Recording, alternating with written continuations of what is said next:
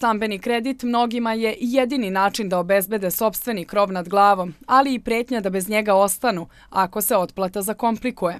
Za sada oko 4000 dužnika neuredno izmiruje stambeni kredit, što je svaki 25. Naši su građani u prethodnoj deceniji mnogo urednije plaćali sve svoje obaveze. Građani ostaju bez posla, smanjene plate, nizak standard i onda to utiče naravno i na mogućnosti da otplaćaju svoje kredite. One koji se zaglave između rata za krediti i praznog novčanika, banka najpre opominje, a potom ih poziva na razgovor. Nije malo onih koji to sve izbegavaju, krijući se, menjajući broj telefona, kažu u Udruženju banaka Srbije. Ukoliko klijent dođe na razgovor u banku, onda banka pokušava da nađe neki dogovor, da vidi kakvi su to razlozi zbog kojih eh, klijent ne može da uredno plaća, do kada eventualno ti problemi traju i slično. Dakle, da se nađe neki način da se prevaziđe takva situacija kroz neki grace period, kroz reprogram, kroz refinansiranje ili neke slične druge načine.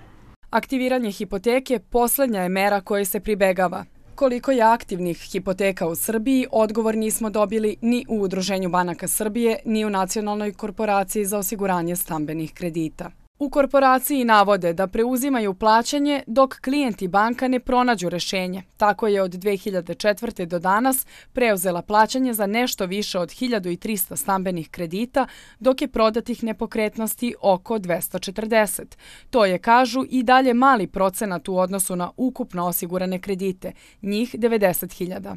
Iz ugleda banke to su po pravilu krediti koji su kvalitetno obezbeđeni i u, red, u malom broju se slučajeva dešava da vrednost hipoteke nakon isteka određenog perioda bude manja od sume e, kredita koji je klijentu odobren.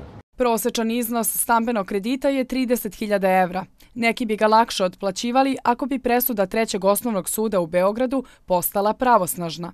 Naime, građani bi tako imali šansu, uvereni su stručnjaci, da im banke vrate od nekoliko stotina do nekoliko hiljada evra koliko su im naplatile naknadu za osiguranje stambenog kredita kod nacionalne korporacije.